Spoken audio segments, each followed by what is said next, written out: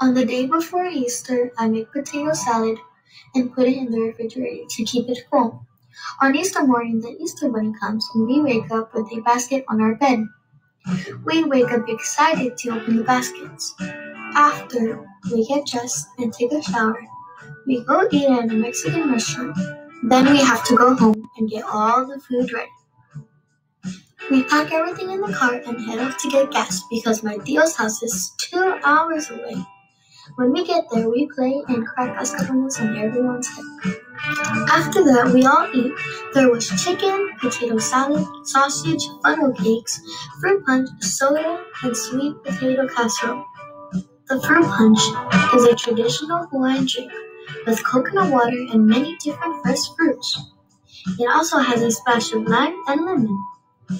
However, my favorite is the funnel cake. It really goes nice with the fruit punch because the sweetness of the funnel cake. The potato salad is one of my favorites. Also, I really can't describe how much I like the potato salad.